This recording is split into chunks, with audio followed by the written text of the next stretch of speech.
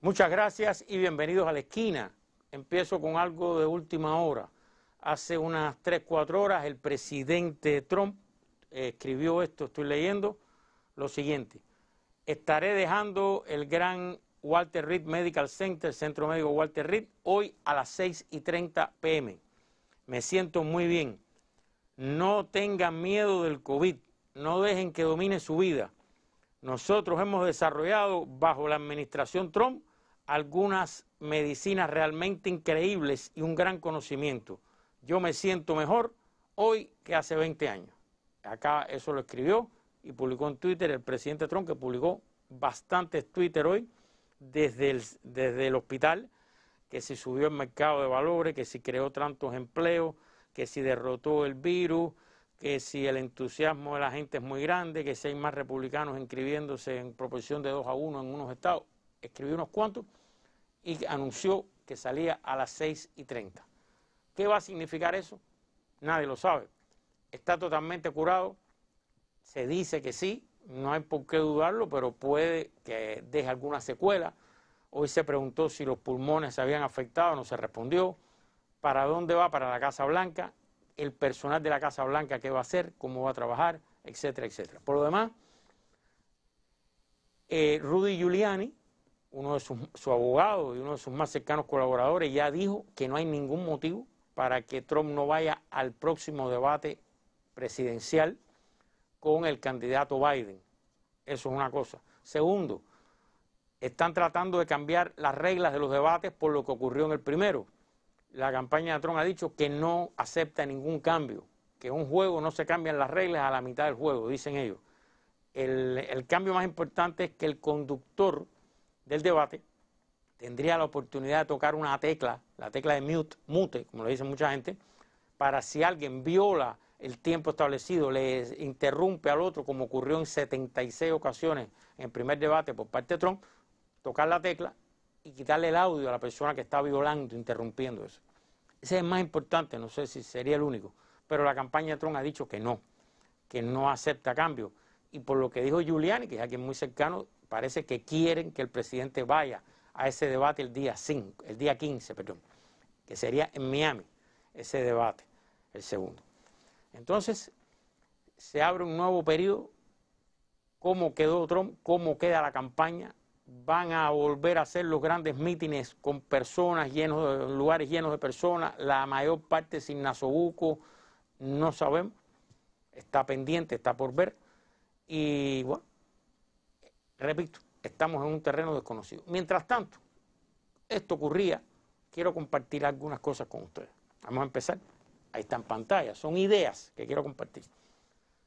Tal y como se previó y como dijimos el viernes aquí, la cobertura total de los medios en Estados Unidos fue cómo está Trump, qué ha hecho hoy, qué dicen los doctores, análisis de los doctores, qué medicina, cómo es esta medicina, cómo es este cóctel, la, compañía que, la corporación que produce ese cóctel, cómo lo produce, etcétera, etcétera. O sea, se tragó el 100% de la cobertura.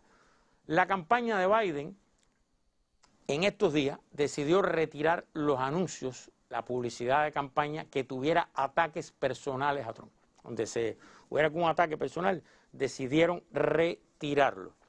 Continuamos. ¿Qué más está pasando? Bueno, el miércoles es el debate de los dos candidatos a vicepresidente. Otro debate que ha sufrido sin discusión cambio. Mucha gente, desde que se anunció que la senadora Kamala Harris iba a ser la candidata a vicepresidente, estaba esperando mm, que ella eh, eh, ganara ese debate de manera abrumadora. Es una mujer de mucha energía, mucha capacidad, fue fiscal y, y que es un contraste muy grande con la personalidad del vicepresidente. Ojo con dos cosas. Cuando pasan estas cosas, el otro se le pone la varilla al otro rival, en este caso el vicepresidente Pence, se le pone la varilla tan baja que con solo no equivocarse, con solo no quedar mal, a veces queda mejor de lo que la gente pensaba que iba a quedar. Eso es por una parte. Y por otra, ya se ha filtrado que la campaña de ella, de la, de la candidata a vicepresidente, está analizando cómo hacer los ataques a Trump eh, teniendo en cuenta su situación de salud actual, lo cual ha sin duda influido en cómo va ella a atacar el récord de Trump, lo que dijo Trump, las cosas que se han dicho durante la campaña de Trump. Esto es el miércoles y va a tener una alta audiencia precisamente por todas estas cosas que le estoy comentando, este debate de los candidatos a vicepresidente. Continuamos.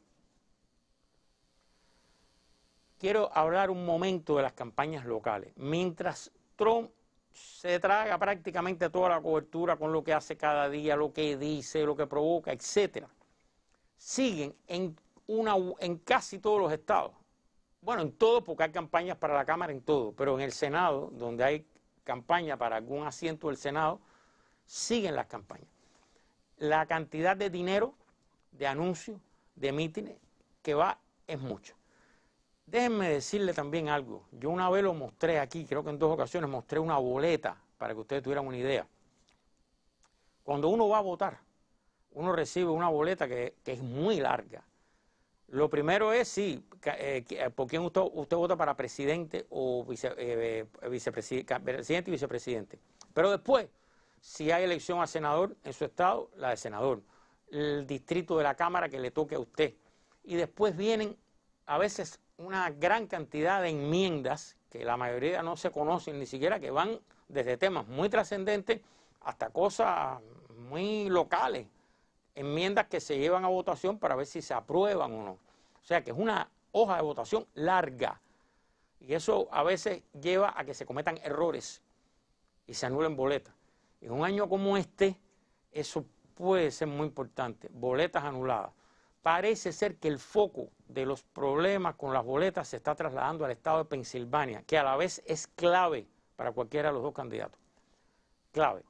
Y entonces, por una parte, sigue la campaña de Trump diciendo que encontraron boletas en un cesto de basura, que encontraron boletas enviadas doble en Pensilvania, en Filadelfia. No se puede demostrar, parece que había unas boletas que se llenaron mal y se, pusieron en un cesto, anuladas, no sirven.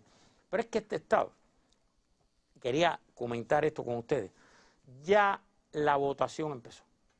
Ya hay unos cuantos estados donde la gente está votando. Se puede votar de distintas maneras. Hay lugares en los que estados en los que usted va al lugar electoral, al centro electoral y llena su boleta y la deposita físicamente. Hay otros lugares que se vota ya digitalmente, por correo digital. Se puede votar. Hay otros estados en que se, llena la boleta y se envía por correo. El voto, el famoso voto por correo, que es el que está la campaña de Trump eh, diciendo y repitiendo que va a haber un fraude masivo y que ellos no van a aceptar ese fraude desde ahora. Pero vayamos al mismo estado de Pensilvania, este estado tan importante este año.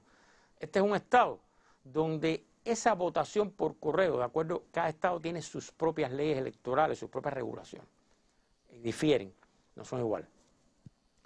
Este estado de Pensilvania, esas boletas por correo no se pueden abrir hasta el día de la elección. No es que se abran desde antes, ya se tabulen y ayuden. De ahí que los expertos, casi todos los que yo he escuchado coinciden que en Pensilvania por lo menos no va a haber resultado la noche del 3. Y si no hay resultado en Pensilvania, en una elección cerrada, si es cerrada, puede provocar una cantidad de variables grandes. Grandes sobre todo de qué va a ser la campaña de Trump y qué van a hacer si no hay resultado esa noche. Así que no quiero adentrarme en esto porque de eso hemos hablado, podemos volver a hablar, pero es un ejemplo de lo que está ocurriendo ya. La cantidad de personas que van a votar de manera anticipada está casi seguro que va a ser la más grande de la historia de las elecciones en Estados Unidos. ¿Por qué? Coronavirus, en primer lugar.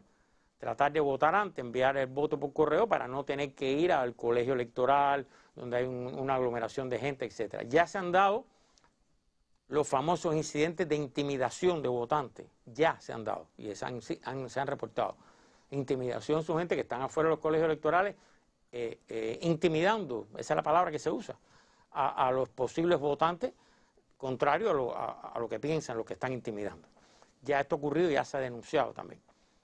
Y no está de más recordar que, recuerden que este es un país donde, en Estados Unidos, donde vota alrededor, un poquito más, un poquito menos, del 50% de las personas que pueden votar. O sea, el porcentaje de gente que vota está alrededor del 50%.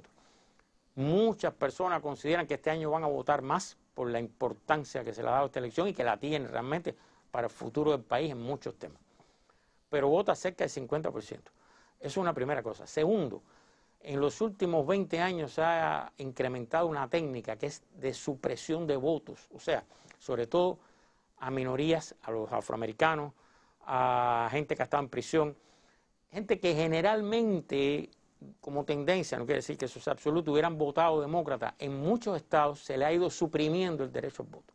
Mientras menos gente vote, mejor. Mientras menos de esta gente participe, mejor. ¿Por qué? Porque son gente que no votan y, y, los republicanos hicieron un gran trabajo en estos últimos años, suprimiendo derechos al voto, rediseñando distritos, que es otra modalidad, para lograr las victorias que han logrado en distintos niveles. Entonces, eso no es ocioso recordarlo siempre y que no olviden, el propio expresidente Obama se refirió a eso en el funeral de John Lewis, en su discurso, el congresista que falleció, un ícono de la lucha por los derechos civiles, que el día de la votación debía ser feriado, porque recuerden que es un martes. En casi todo el planeta las votaciones son los fines de semana, que es feriado, que, es feriado o que es el día libre, en este caso. Pero ya que es el primer martes, después del primer lunes de, de acuerdo a la Constitución, como está establecido, lo que propone Obama y mucha gente es que se declare feriado, porque hay mucha gente que está trabajando, sobre todo los que son empleados y los dueños no los dejan ir. Usted no puede ir a, voy, voy a votar, voy a salir dos horas porque voy a votar. Ah, no, no, no, usted no puede dejar el trabajo, usted es camarero aquí, usted es empleado. hay mucha gente que no, por eso la votación anticipada va cobrando cada vez más importancia para gente que le interese participar y todas estas cosas no se lo permitan. Continuamos. Ahora les quiero hablar de esto. La batalla, esta famosa por el voto del correo, ya comenzó el gobernador de Texas, que es republicano. Y Texas es un estado muy republicano siempre, pero tiene grandes concentraciones demócratas en las grandes ciudades, en Dallas, en Houston. Y algunos han dicho que Texas ha, entrado en la lista de estados indecisos, que no se puede decir todavía. ¿Por qué yo le digo esto? Porque en estos momentos hay cerca de 40 estados que ya están decididos, que se sabe quién va a ganar y en esos estados no se hace prácticamente campaña de presidente por la, por la elección presidencial. Sí se hace la campaña por los candidatos a la Cámara, si hay elección en el Senado, elecciones locales, sí. Pero la de presidente, en esos estados no se ponen anuncios, los anuncios cuestan. Es una industria grande. Cerca de 40 estados están decididos. Por eso es que yo les digo que lo más importante, aunque los matemáticos explican que cuando la diferencia en la votación nacional es grande, es imposible que haya otro resultado el colegio electoral, pero grande están hablando de más de cinco puntos de diferencia en la votación nacional. Eh, em, eh, eh, ¿Qué pasa con esto? Que hay que seguir esos 10 estados. Lo más importante, que usted tiene que seguir cómo está en ese estado, más que cómo está la votación nacional, que se mantiene sostenida a favor de Biden, es Florida, es más importante, Pensilvania, que va a ser muy importante, y todo lo que está pasando, Michigan, Wisconsin y Minnesota. A la vez, Ohio, sorpresivamente, un estado que Trump ganó por más de 8 puntos, está dando ventaja sostenida pequeña hacia Biden, pero ventaja al fin. Arizona, un estado que los republicanos han ganado, está dando números todavía pequeños o no estables, pero favorables a Biden también, pero son números todavía. Y esos son, bueno, Carolina del Norte está empatado prácticamente, es un estado que está prácticamente empatado. Y cuando un estado está en un, rango de uno, dos puntos, depende mucho después de las autoridades locales, quién controla la gobernatura, las cámaras, etc. Entonces, eh, esos son los estados que hay, que hay que seguir y son los estados que hoy, en este momento, hoy lunes, le están dando una ventaja cómoda a Biden. Cómoda quiere decir en esos números, ¿Cómo quiere decir hasta ahora? Vamos a ver qué sucede. Miren lo que pasó con la enfermedad del presidente u otras cosas. Aquí puede pasar cualquier tema. Y no olviden el New York Times dice que tiene más materiales y que los va a sacar y a ver hacia dónde van los nuevos materiales que tiene sobre los impuestos de Trump. Entonces, continuamos. Y esto es una frase final. El gran circo, así le llaman en Estados Unidos, la frase no es mía. Hay un programa de la cadena Showtime que se llama así, el mayor circo, el mayor circo político del planeta, se llama así, un programa semanal, muy bueno, que hacen sobre elecciones. ¿Por qué? Porque miren, las cadenas de televisión, las estaciones locales ganan mucho dinero con los anuncios. Yo voy a tratar de que ustedes vean dos anuncios para que tengan una idea del tipo de anuncio de, de campaña que se hace Vamos a ver si los conseguimos para que lo vean. Los periódicos tienen y los medios masivos tienen tela por donde cortar todos los días, que a veces hay que buscar temas, etcétera, y por tanto está el país entero en función de esto, en medio de la epidemia, en medio de esta situación, y esto sigue. Les repito, para los que realmente me preguntan siempre, ¿quién gana? ¿Cómo está? Dime, ¿quién, quién está adelante? Bueno, en números, en números, Biden está adelante en Pensilvania, en Michigan, en Wisconsin, que son los tres estados en los que él está apostando a ganar la campaña. Florida, aunque Biden está adelante, está, digamos, por menos de cuatro puntos de ventaja, eso no está decidido todavía. Arizona y Carolina del Norte están con pequeñas ventajas a favor de Biden, pero pequeñas al fin, que pueden disminuir o pueden borrarse. Y sorpresivamente el estado de Ohio también está en esa categoría de una pequeña ventaja numérica de las últimas encuestas dentro del Estado a favor de Biden. Si son hoy, gana Biden. Mañana, no sé lo que puede pasar. Termino la esquina y regreso a la mesa.